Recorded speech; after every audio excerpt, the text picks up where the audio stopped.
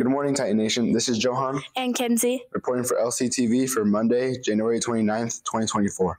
The weather today will be mostly sunny with a high of 44. Tonight, a few clouds with a low of 32. For lunch today, the cafeteria will be serving chicken tenders, rolls, Catalina veggie blend, and hoagie sandwiches. Fellowship of Christian Athletes will have a meeting this Friday at 7 a.m. in Miss Ford's room. The guest speaker this week is Mr. Dickinson. Do you like sharing your ideas, telling stories, reading poetry, showing off your humor, or teaching others about important issues today? If so, LCHS Speech is the place for you.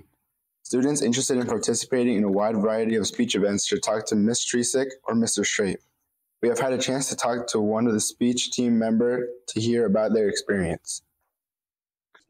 Hey guys, we're here with Zoe Dittmer today, and I'm gonna ask her what she likes about speech. I like speech because it gives me the opportunity to meet a lot of new people and make a lot of new friends. Okay, Zoe, why should people do speech? People should do speech because it gives you skills that you'll use for the rest of your life, um, like presenting skills and speaking skills. Um, what do you guys do in speech and do you like it? Uh, my event is extemporaneous speaking, so I get three minutes to prepare a speech on a topic, and I have to give a five minute speech out of from a topic that I draw out of a bucket. Um, and I like my event because it gives me confidence and it teaches me how to like speak um, on the fly.